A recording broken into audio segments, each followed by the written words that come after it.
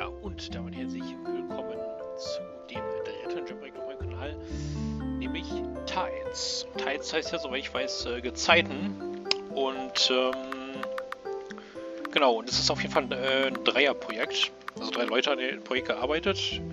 Der Mr. Fu, Severik und ähm, Kentaro. Und äh, genau, ich bin auf jeden Fall gespannt, was uns hier so erwartet.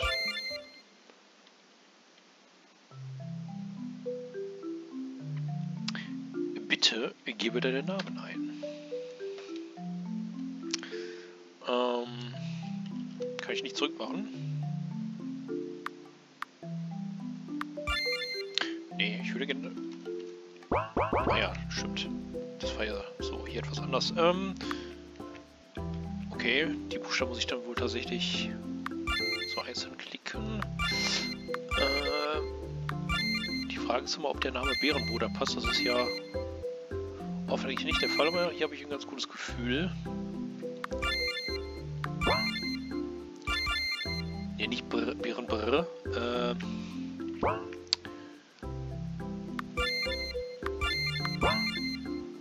Bärenbru. Der. Perfekt.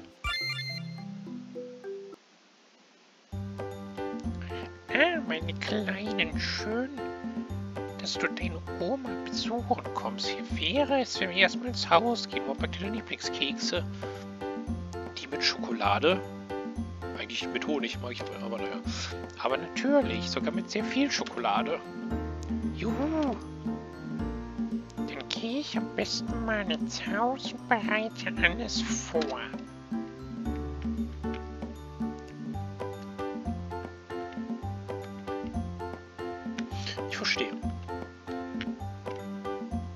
Sogar mit Laufanimation extra. Wie aussieht, oder, oder ist das einfach, oder sieht das nur so aus? Ne, war an sich auf jeden Fall ein cooles äh, Sprite. Und, und generell gut, ähm, gute Grafiken, finde ich. Nicht nur vom Schaden, sondern allgemein. Das, ja, man erkennt auf jeden Fall Severix Ziel wieder. Ich finde es auch mal ganz interessant, endlich mal ähm, ein Spiel mit Severix äh, Ressourcen zu sehen. Weil ich finde die Ressourcen eigentlich immer so richtig toll von der und es ist schön, die mal auch wirklich in einem Spiel zu sehen, so.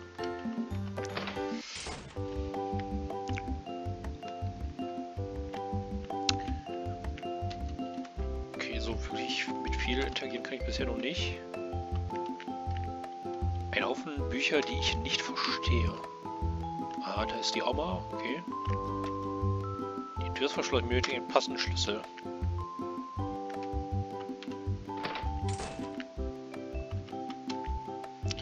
Gerade keine Lust auf Fernsehen. Mein Bett. Ich bin aber noch gar nicht müde. Das Bett von meiner Schwester. Und wo ist die, wenn ich fragen darf? Du hast eine Spielzeugangel gefunden. Schwesterherz und ich fand früher mal am Strand und haben versucht, mit der Angel etwas zu fangen. Das war lustig.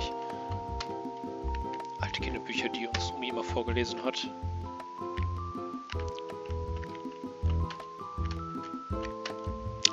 Ein alter Plattenspieler. Das ist Omas da muss ich jetzt nicht rein. Da geht es im Badezimmer, da muss ich jetzt nicht rein.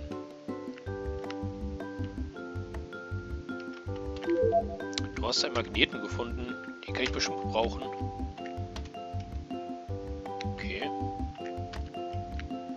Habe ich hier auch ein Item Inventar? Habe ich in der Tat. Skills. Bärenbruder Level 1. Heilung. Funken. Rüsten. Schwert. Warte mal. Ich habe als äh, als Kind als Waffe ein Schwert, Schild, Hut. Ja, Hut und Stoff okay, aber Schwert und Schild? Ich bin doch kein Ritter im Mittelalter hier. ähm, Gegenstände, genau. Ah ja, ziemlich stark genäht.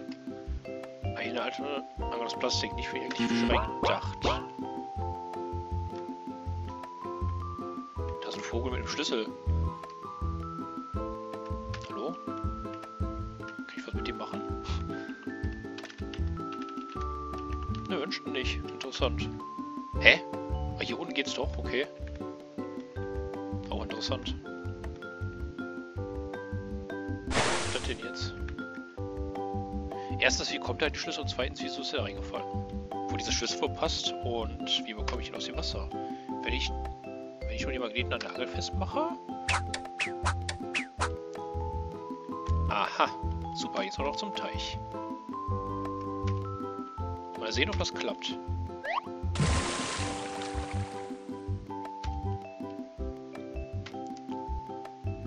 Ja. Da ist er. Schlüssel erhalten. Wo der wohl passt. Ähm. Der Schlüssel für die Keller. Ich verstehe. Hat Oma auch noch, noch was zu sagen? Hm, Oma braucht noch ein bisschen. Wie wäre es, wenn du im Garten spielen gehst? Da war ich doch schon. Aber hier, hier kann ich jetzt in den Keller.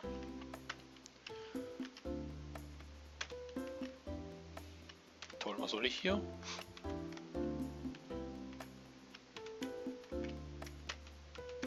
Ich kann das Bügelbrett da nicht passieren, merke ich gerade. Hier so. Wozu kann ich jetzt in den Keller, wenn ich hier nichts machen kann?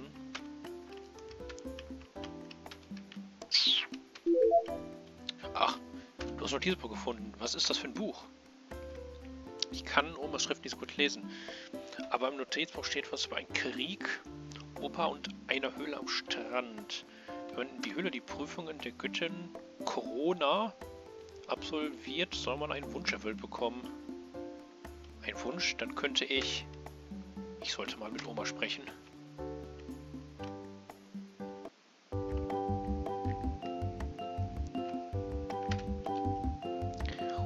Äh, Oma, ich habe im Keller ein Notizbuch gefunden. Im Keller sagst du, ich dachte, ich hätte den verloren. Und das Notizbuch, weißt du, deine Oma hatte damals wirklich viel Fantasie gehabt. Damals dachte ich, dass ich in einer Höhle am Strand eine Göttin getroffen habe, die mir dann einen Wunsch erfüllt hat. Aber das war nur meine Fantasie. Deine Oma war nämlich eine Tagträumerin. Am Strand ist eine Höhle, in der eine Göttin lebt und einen Wunsch erfüllt. Das ist ja so cool. Es gibt tatsächlich eine kleine Strandhöhle, aber dort gibt es nur Sand und Felsen. Also gut, mein Bruder, dein Obi braucht etwas für die Kekse. Hm, okay, ich gehe dann so langsam draußen spielen.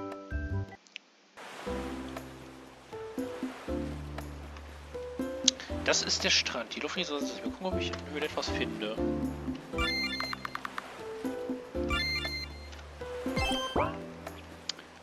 Das, äh... Oh. Ja, okay. Äh, das Wasser gefällt mir. Auch wenn das animiert ist, auf jeden Fall. Nur, äh, ja.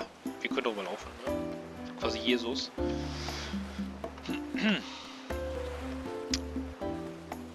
Ja, und die Teile sind an sich schon ganz gut. Wie gesagt, vor allem hier die Wasseranimation gefällt mir, aber ich, ja, finde, hier und da könnte der Strand noch ein bisschen von Details vertragen. Woff, dieses Felsbild sieht wirklich cool aus. Ich frage mich, ob diese Frau auf der Abbildung die Göttin ist. Mal sehen, was auf der Tafel geschrieben steht. Ich herrsche über die Zeit und den Mond. Ich bin eine Beständigkeit, deren Macht selbst das Schicksal beeinflussen kann. Stelle dich den vier Prüfungen und erhalte einen Wunsch. Wow, Oma hatte wohl recht gehabt. Wenn ich einen Wunsch habe, ich sollte mich den Prüfungen stellen. Dort scheint es nach unten zu gehen.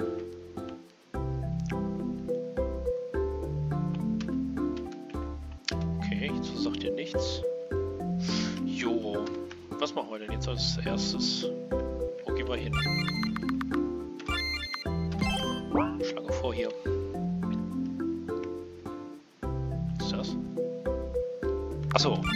Zurück, zurücksetzen. Okay, verstehe. Ähm, okay, das ist eine Erhöhung. Das ist eine Erhöhung.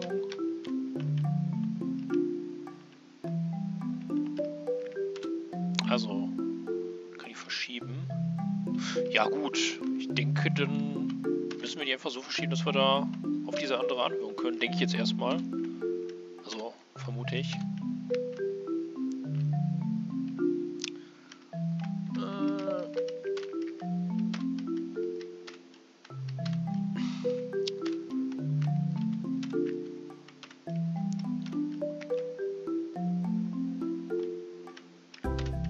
So, yep, yep, wunderbar.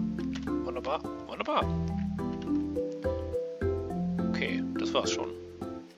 Interessanterweise kommen wir dann auch wieder da raus, wo, wir reingegangen sind. Äh, okay. Jetzt. Kann ich einfach alles nehmen.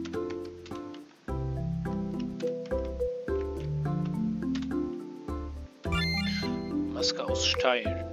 Das sieht schön aus. Steine Sandra, Stein, kleine Risse auf die Oberseite. Seestand und links ein Fernstück. Sichel, See ziemlich schwer, Stellen am Mond. Ich könnte mir vorstellen, dass ähm, das heißt ja Tides. Äh, das ist hat ja was mit Zeit zu tun, ne? Hin und wieder kommt die Flut und dann, wenn die mit der Zeit kommt, dann halt wieder äh, Ebbe und, und so weiter und so fort. Und das hat ja was mit der Anziehungskraft des Mondes zu tun, deswegen Santo und Mond will ich dann platzieren. Die Frage ist nur, spielt das eine Rolle, was in welcher Hand davon sein muss, oder ist das egal? Tut sich da was? Okay, anscheinend war das richtig. Es kam halt kein, kein richtiges Feedback, ne? Kein Sound oder sonst was. Was ist denn das?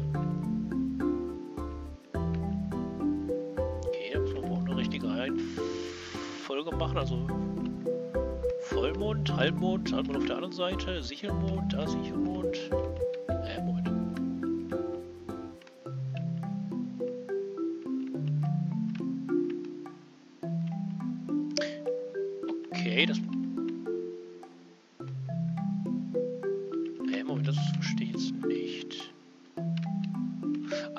Das ist dann wohl einfach eine bestimmte Reihenfolge. Also Sichelmond, dann, dann der dekale Mond oder was? Dann der...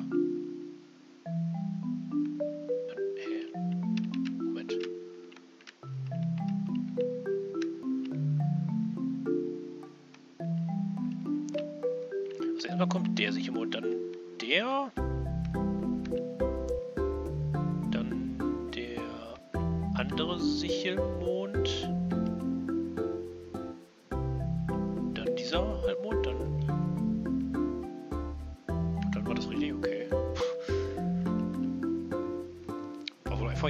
Reihenfolge, die man da rausfinden muss, okay.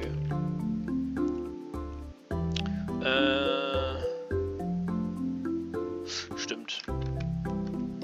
Äh, da sollte man ja einfach die Namen der Göttin nennen, glaube ich. Meine ich doch, äh...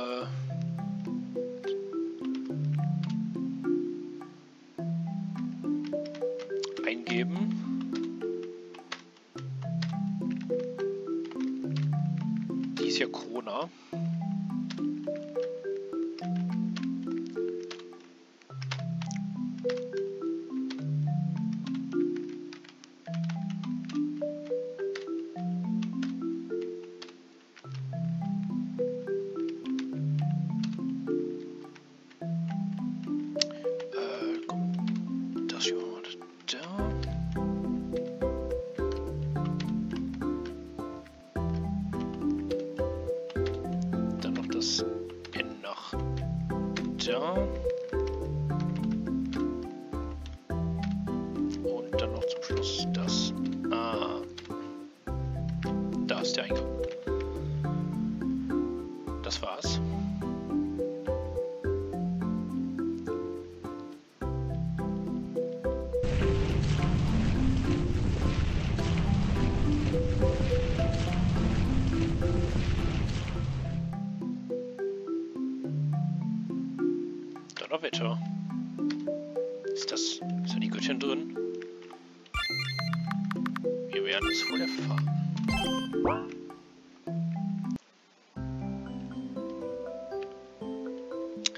Das sieht hier wie ein richtiger Tempel aus. Ich frage mich, ob ich noch ein Rätsel lösen muss. Hallo Bärenbruder. Wer spricht da? Ich bin Krona, die Göttin der Gezeiten und des Mondes. Donnerwetter, ich fresse ein Besen. Gekicher. Du bist wirklich ein interessanter junger Bärenbruder. Viele Menschen haben die Prüfungen und Rätsel nicht lösen können. Was? Die war doch total einfach. Doch du bist anders. Das muss wohl in der Familie liegen. Also, Frau Kroner, habe ich jetzt einen Wunsch frei? Natürlich, Bärenbrunner, du hast alle Prüfungen mit Bravour bestanden. Dir soll ein Wunsch gewährt werden. Ein Wunsch. Ich wünsche... Ist schon in Ordnung, Bärenbrunner. Ich weiß, wie dein größter Wunsch lautet. Du möchtest deine Schwester wieder haben. Oh. Ich verstehe, sie ist also tot. Sie ist gestorben. Ja, sie war ganz toll krank. Wir waren oft im Krankenhaus und dann eines Abends kam Papa und Mama nach Hause. Sie waren ganz doll traurig und haben geweint. Dabei dachte ich immer, dass Erwachsene nicht weinen. Und dann haben sie gesagt, dass Schwätzeherz jetzt im Himmel ist. Mama sagt, da gehen alle Menschen hin, wie sie ganz doll krank sind. Seitdem habe ich Schwester jetzt nicht mehr gesehen. Bitte mach, dass meine Schwester wieder da ist. Bist noch so jung. Doch musst du den Schmerz des Verlustes ertragen. Ich werde dir deinen Wunsch jetzt erfüllen. Bitte schließe deine Augen.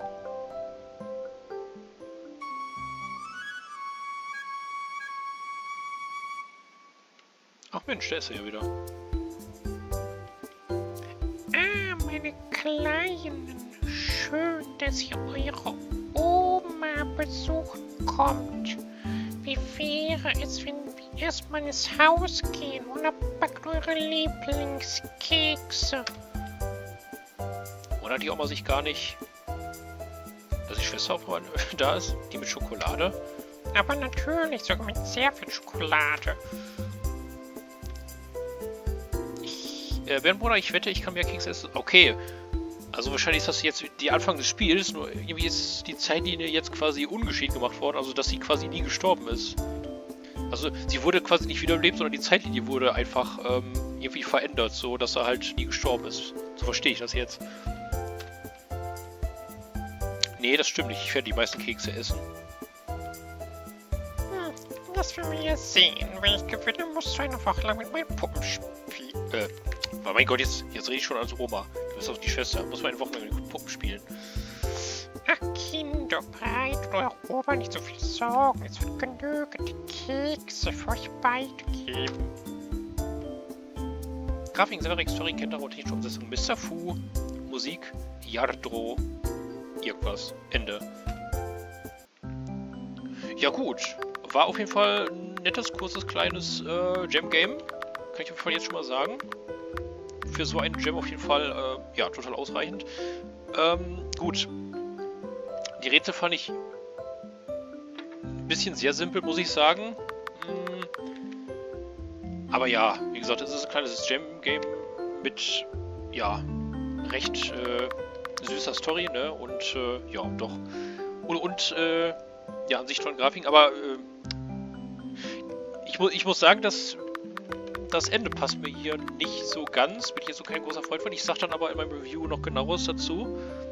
Und äh, noch zu viele andere Sachen natürlich, ne? Wie ich das hier in meinem Review-Video immer so mache. Da gehe ich ja sehr auf, ausführlich auf die ganzen Punkte ein. Deswegen muss ich das jetzt noch äh, extra hier machen. äh, sparen wir uns auch so mit Zeit. Sowohl ihr als auch ich. Gut. Äh, das war's dann auf jeden Fall ja, mit dem Reaktor und geht es mit dem nächsten weiter. Aber bis es soweit ist, will ich noch hier sagen, macht's gut, bis zum nächsten Mal, euer.